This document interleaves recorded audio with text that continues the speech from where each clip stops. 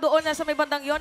And look at the zoning na ginagawa dito ng uh, AP Bren against Kiboy. At sisimulan na nga ata ni Kyrie ang ah, first turtle of the game. the Pero makikita siya ni Ogwin at Kyle Teasy with the reset as well. Aabangan natin kung sino nga ba ang kukuha nito. Pero apat na tao mula sa Onyx ang magbabantay around that turtle area. Sabi kasi ni Midnight kanina, napaka-importante, early objectives. Ayan, apat agad. Ginamit na rin Oh, dito ang Astral Echo. And look at Boots. Wow! Papasok doon. With the penalty zone, halos wala mabuhay dito ang mga players ng AP Bren. And Kyrie will take that turtle. Flap TZ naghahanap pa rin, pero first blood ay mapupunta para sa side ng Onyx. Kyle TZ still alive. Si Boots naman ata ang susunod nila. Dalawa na wala para sa Onyx at si Boots nangangalati na lang ang buhay. Mukhang hindi na nga yan makakatakas pa. And it's gonna be a double kill para dito kay Flap TZ. XP lane matchup, Tams. Lamang na lamang, you gave out the turtle. Magandang play mula kay Kyrie. Abysm strike into retribution. Napakagandang penalty zone din mula kay Boots. Pero after iba to lahat, pinagkakalmot sila nung Tams. Oo, biglang dumating eh. Kaya naman pala, kasi thumbs nga pala, if ever na ilabas niya yung palakol niya, hindi ka na makakaalis pa. Oh, hindi ka na talaga makakaalis dahil sa nagkit at rinig na rinig talaga natin. Dalawang kills pa lang ang napupunta. Hindi, tatlo pa lang ang napupunta para sa side ng AP Bren ay naghihiyawan na. Pero tandaan natin, mahirap magkamali kapag Onyx Esports na. ang kalaban.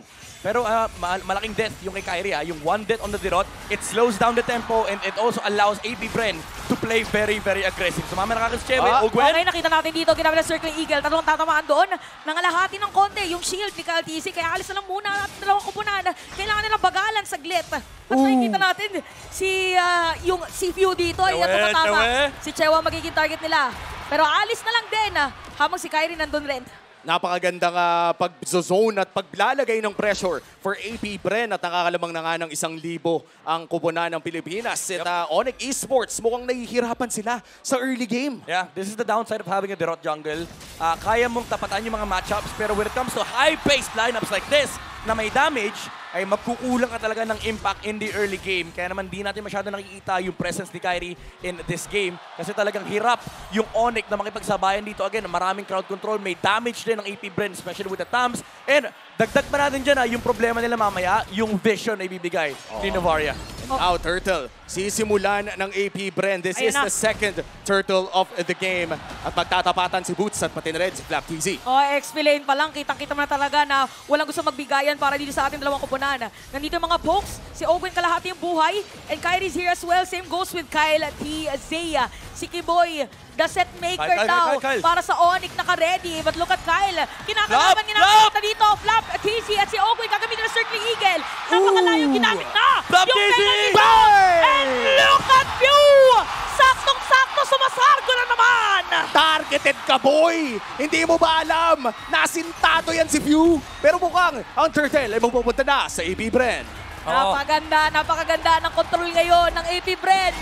Objective control mula sa AP Bren. First step, reset, laban, poke, hero focus, target down. And Onyx, again, hindi nila kaya sabayan yung damage output and yung control na binibigay ni Kyle TZ ni Ogwen and specifically Little Tams with the Impure Rage. Napakahapde ni Flap TZ in the early game. Grabe, sugod lang ng sugod ang AP Bren. Hindi talaga nila binibigyan ng tsansa ang Onyx Esports na huminga ng gaano. Pero mukhang maaga-aga ang paglalabas ni Sans na kanyang TV. Oo, sabi niya kailangan niya kasi kumuha ng lakas eh. Lamang ngayon yung AP Bren eh. Confidence booster Kailangan niyang kasi. confidence booster Oo. muna. Kaso minsan placebo yan eh. Hanggang ah, confidence lang talaga. Walang, di, walang dating sa game eh. Oh, hindi nag-translate. Pero tingnan natin na dahil yung huli nga nilang laban, ay nagkaroon ng ah, baliktaran pero parang hindi yatang gustong ibigay ng AP Bren ngayon dahil patuloy-tuloy lang ang pag-ikot ni Kyle TC at ni Ogwen. Three-man strong para sa AP Bren sa Kyle! itaas. Chewe, binabantayan. Mukhang wala nang makakakuha pa ng tore na yon kung di ang AP Bren. Onyx, makakadepensa naman sa kanilang goaltender. Hirap na hirap din talaga yung Onyx dito. Yung pressure lang na dinadala ni Kyle TZ kahit hindi siya mapagamit ng spell, yung tayo lang ni Fredrin, nakakatakot na parang ah, may attempt kagad na pa- mawapatay ka. Tapos si Kyrie dito, hindi rin siya secure na talunan yung Fredrin kasi may guiding wind din palabas. So yung, yung aggression na pwede sanang dalhin ng Onyx Esports, hindi rin nila malamdaman. Kasi aside from the fact na kaya sila iligtas ng Matilda, hindi nila makita kung ah, nasaan yung thumbs kanina. Kaya naman natatakot din sila humarap. Dahil kapag bi- binalikan sila ng AP Bren, masasaktan sila, especially with Flap TZ. Having that corrosion sight, yung movement na yung movement na inaasahan dito ng Onyx Esports, malilimit. Tapos may slow pa na nanggagaling mula kay Novaria. Grabe si Ogwen, oh. napakasakit na ng wisp niya against uh, the side of uh, Onyx. Kaya naman pala hirap na hirap yung uh, set maker daw ng side ng Onyx. Ka- Parang every time na sinasalubong siya, napapaalis si Kiboy. eh. Kasi uh, meron pang pwedeng na dumating uh, na damage from AP Brent. At dadating na nga ang ah, third turtle of the game. At mukhang si AP Bren ang magkocontrol ng ayan, area na to. Astral Echo on to 3. At si Kiboy ay mapopok na rin nga dito ni Flap TC. Ah, Ayun, sinimulan na pagkakatong turtle. yan. Pero Kiboy, dumudugo na siya. Circling Eagle yung pala paliko, si Kyrie hahanapin nila at napapaalis din ng mga 1v3. players ng Onyx habang si Kyle DC nandoon nakadiretso sa may pagong. Paano kayo lalapit ngayon? Kasi si Kyle DC makakasecure niyan. Nice zone na nagmumula kay Flap. Kakabanggit lang natin, Astraleco, may slow yan. Dagdag na mo dyan, patong mo yung damage plus so, slow na nanggagaling kay Thumbs. Bawal kang dumikit sa objective ng AP Bren. And if you think na kaya mong tunawin yung Thumbs, Aha. may Vengeance, and again, Guiding Wind. Meron nga palang pangat-ngat. Parang ganun yung ginagawa ni- nila ngayon eh, di ba? Masakit na yung damage ni Ogwen, nakikita natin yung mga waves. Tapos Yes. si Flap TZ, dire-diretso pa na, okay, bato pala call, tapos Oh, kuha pala call, tapos balik na ulit. Sans! Uy! Okay. Nagkaliparan lang. Hinatid sa Indo. Hinatid sa Indo. It is a 4 for 1 ang kill score. Lamang na ng 4,000 ang AP Bren. Pero gusto ko lang ulit-ulitin, no? Lamang man ang AP Bren ngayon in the early game. Huwag nating kalimutan na ang nangyari sa Game 1 Yeah. kahapon. That was a 15k gold lead Yeah. na natalo tayo. Bawal pa rin magkamali kapag Onyx ang kalaban mo. Oo, kailangan na. Maging continuous lang talaga yung kanilang ginagawa. Kaya very consistent din naman. Oh, consistent din. Kamuntikan. Alam mo, but, pasalamat yung uh, Onyx, pilipilit si Kyrie, naretre pa niya eh. Kaya nga. Retre agad eh. Kung if ever, alam, nakita naman natin yung ibang game yun. review. Biglang nga nakakakuha ng ano, mga objective sa mga kalaban nila. Sabi ni Kyrie, okay ko dun eh. Ang pogi ko dun eh. Nakuha ko, kaso na force din yung retry. And again, yung binabanggit ni uh, Wami kanina, hindi rin dapat maging relaxed and chill ng uh, AP Brand kasi scaling din yung lineup dito ng Onyx Esports. And it's very also similar to uh, their game number one kahapon, no, na yung yung uh, objective and yung end game conditions ng uh, AP Bren, they have to still win this team fights. And knowing na, nakita, natin, nakita, actually nakita natin yung laban ng uh, Bren versus Ah. uh, Blacklist International na nagiging ganoon din yung disiplina Oo. nila na pagdating sa dulo, talagang i-team fight nila bago mag-tower lock. But their main problem here in this game is sa late game, medyo malakas yung presence ni Claude. At yung Claude na to ay kailangan talagang i-pressure ng AP Bren ng tuloy-tuloy dahil alam natin si Chewe, regardless kung walang mas, hindi makascore o mas 0-2, for some reason ay kumikita pa rin. Nakakahabol pa rin. Eh, hindi talaga pwedeng mailitin ang Onyx Esports dito. Sisimulan na ng Onyx ang Lord. Si Boots ang hihila pero nandiyan na rin si Kyle Oy! si Sans! Si Sans, Sans out. ka daw pupunta kaya makapaalis na lang muna. Take note of the positioning of Kiboy dito sa ating team fight. Lalim, ah, lalim. So hinahanap ngayon na kung nasan ibang mga players sabi ng AP Bren, parang delikado, may nawawala, parang kakaiba yata ang ginagawa ng Onyx. Hindi nila makita sa guest list si Kiboy. Oh, kanina pa siya nawawala. Nagtatago doon sa hotel room ng Bren. Oh, ni- paano mo naman ba kasi hahanapin? The Oo. last place na pwede mong pag-isipan ay sarili mong base. Nasa likod lamang Lap. dito si Kiboy. Pero hindi yata alam Aray! na si Bren na nandoon na. At napakasakit na nga talaga ng kupunan ng AP Bren at kailangan ng Oh umalis my muna ng. Onyx Esports. Pero Kiboy, Super Marco, naamoy niya ata pero bumalik din sa Lord. Oo, where is Kiboy talaga? Pero ginamit sa kapilitan na. Gumamit ng penalty zone. Kaya naman si Boots mamamatay na. Pero si Kiboy hindi pa rin yata aalis. Hindi, magki- hindi pa rin talaga aalis. Anong plano ng Onyx ngayon? Kasi yung AP Brand lamang pagdating sa good at pwede nang sumula. Sum- Sumula dito sa my lord. This is Flap TZ versus Onyx with the support of Ogwen. Hindi nila mapasok yung thumbs. And grabe naman yung layering ng AP Bren. Masterful take. Pang secure lang.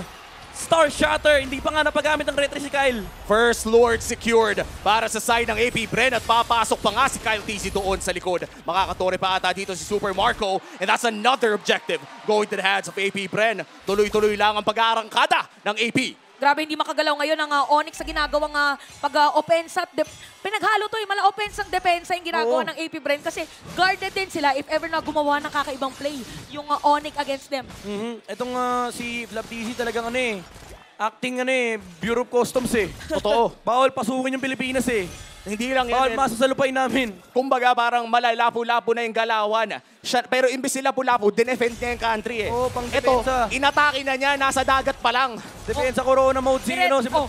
Ang sakit na dito ni Super Marco. Kanina pa tayo naka-highlight dun sa mga ibang players. Si Super Marco, okay lang na walang kill.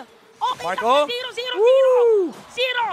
Pero meron naman, maraming zero yung damage niya. At ang sakit naman na kasi talaga ni Super Marco, no? At bukod pa dyan, si Flap TC, sinabi niya sa interview, Ano yun? wala nang mawawala sa akin. Kahit sino mong itapat, tuturugin ko. Tsaka- At ginagawa niya ngayon yun. Kahit sino sa Onyx, kahit sinong humarap, tatalo na niya. Sabi niya, hindi ako nag-predict ngayon. hindi Oh. ako nag-predict. Oh, Laban niya- lang, ML lang kung ML. Kyrie, aray ko. Oh, ito na yung sinasabi natin na may damage na nga talaga si Super Marco at napakaganda ng pinapakita ngayon ng AP Bren. Parang kung ikaw yung Onyx, parang isipin mo, hala, paano tayo dedepend sa mamaya? Oo, ang parang hirap. hirap. Ang haba din kasi ng range ni Super Marco. And speaking of paano nga ba dedepensa, lagyan natin ng konting analysis, no? Ano bang kailangan gawin ng Onyx dito? Alam mo, sa totoo lang, kailangan nila humarap ng mali from AP Bren. Kaso mahirap pa Parang- hanapan ng butas dito yung uh, kanilang composition. Kasi number one, very one-dimensional yung kanilang team fight. That's the problem with the Derot jungle, kaya hindi siya super popular. Kasi talagang ginagamit mo siya pang anti-tank. And now, if you look at the uh, the composition of Onyx, if hindi mo makuha yun, you're playing to scale with both the Valentina and the Claude. May pang, may pang fight naman sila. Ang problema kasi is kulang sila ng damage. Kasi yung damage na inaasahan nila, na shutdown na in the early game, yung Valentina hindi rin makalapit dahil sa ginagawang pang zone ni Flap. So Onyx, kailangan nila mag-full commit either dito patayin si Flap or humanap sila tulad ng hinaharap ni Kiboy kanina sa Lord na makakuha sila ng isang magandang implosion play. Pero again, with this kind of uh, momentum that is uh, going in favor of AP Bren, lalo pat napakalakas ang nilang team fight presence Aha. kasi si Brody ay napakalakas talaga sa pagdating sa 5v5. It's hard to crack this kind of composition, especially with the amount of gold that they have on their course. Nasa kamay na ni Kiboy ang bola. Dahil- Kailangan makahanap siya ng play. Pero si Kyrie ata ang nahanap ni Flap. Treleco? Kyrie, no choice na ata. Masyado ka kasing pogi, tol. Ooh, Kyrie, una mamabagsak nila. Explosion! Perfect na play para dito kay Kiboy. Pero hindi sapat para dito sa Onyx. Kaya naman si Boots nakukuha na rin nila. And look at Super Marco. Tranchon! Ginamit dito Tranchon! Winter Tranchon. Hindi po tatakasin ni Pew. Pero aalis na si Sans. Pero nakita na natin ngayon ah, ang mga Bees, ang AP Bren, ready dun sa mga setup play ng Onyx. Two-man down para sa side ng Onyx. At mukhang dalawang inhibitor turret din ang babagsak. Tatapusin na ba agad Love, love, love, ng. AB Bren in 14 minutes. May Marco! kita natin ngayon. Marco! ng PC. Isa-isang kinakagat. And game number one goes to AP Bren. 14-minute win para sa AB Bren. At game 1 pa lang yan. Oo nga pala, game 1 pa lang. Pero kita na natin ang disiplina, yung play na ipinapakita dito ng AP Bren. Woo! Onyx lacked the firepower. Meron silang star power. Pero at the end of the day, AB Bren had the better composition, better early game, better execution, better objective control. And they had the better, the better performance in game number one. I would say even better than great. Kasi sa mundo ng ngayon, sa mundo ngayon ng MLBB, na kung saan nagka-draft lang tayo around the meta heroes, Oo. naglabas ka ng thumbs against Onyx Esports. And this is uh, quite the achievement for AP Bren. Dahil kung babalikan natin ang knockout stage, Aha. never pang nanalo ang AP Bren against Onyx Esports. This marks their first victory over this team. Alam mo, parang ang ginawa lang dito ng AP Bren, kung babalikan kasi natin yung video or yung interview kay uh, Coach Ducky, kailangan nila magpahinga. Feeling ko pinahinga nila emotionally yung mga players nila para pagdating dito, meron Oh. silang isa sa mga malalakas na kalaban. That's it, para prepare tayo emotionally. Grabe, ah, kakaiba talaga ang energy ngayon dito. Game 1 pa lamang ito ng Best of 7 series. And it was a 14-minute game. Napakabilis talaga ng laro na yon. Talagang nas- masasabi natin na isa yon sa mga pinaka-dominating victories ng AP Brand. Sa sobrang dominating ng game na yun, alam mo nangyari, isang beses lang ginamit ni Flap yung Vengeance. Oh! After that, talaga nga nakita natin na sobrang laki ng lamang ng AP Bren. And dito mo masasabi, Onyx had no business winning that game. Kasi talagang pinakita ng AP Bren, kahit anong gawin mo, lugi ka sa draft, lugi ka sa execution. Kaya naman natalo sila. Natalo ang Onyx ng game number one. And who would have thought, Thamos, no, nabanggit mo nga, puro meta picks tayo, tapos biglang may nilabas na Thamos. Feeling ko madami na ulit magtatamo sa RG eh. Oo. Eh, Pero kasi, ang ganda ng ginawa dito, parang yung concept niya, continuous kasi si ano eh, si Thumbs, diba, pa nag-counteract Inferno, ayun, Inferno ang nangyari at bigay.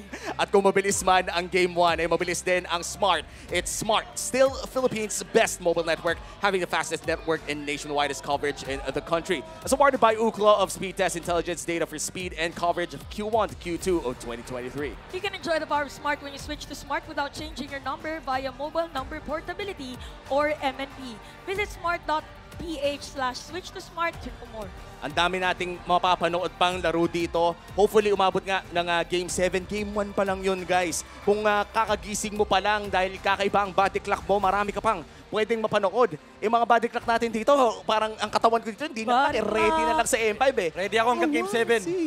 I wanna see Ako you ready rin ako sa game 7. Oo, ako rin eh. Ready rin ako sa Game 7 dito. Ready ready rin ang ating mga audience dito for Game 7 dahil nga ang dami nating nanonood. Guys,